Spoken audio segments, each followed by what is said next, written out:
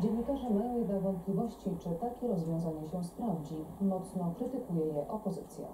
Propozycja uchwalenia ustawy regulującej status zawodu dziennikarza znalazła się w programie wyborczym Prawa i Sprawiedliwości zatytułowanym Polski model państwa dobrobytu. U podstaw tego, tej propozycji leży konstatacja chyba niespecjalnie zaskakująca, że dziennikarze są zawodem zaufania publicznego, mającym duży wpływ na kształtowanie postaw Wyjaśnia zastępca Rzecznika Prawa i Sprawiedliwości Radosław Fogiel. Tworzenie samorządu dziennikarskiego mogłoby zdaniem Prawa i Sprawiedliwości doprowadzić do likwidacji artykułu 212 kodeksu karnego, który przewiduje nawet rok więzienia za pomówienie dokonane za pomocą środków masowego przekazu.